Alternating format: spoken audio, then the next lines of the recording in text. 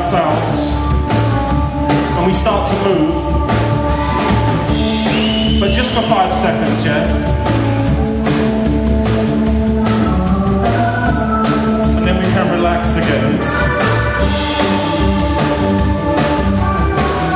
You're listening to the sound of Jay Z.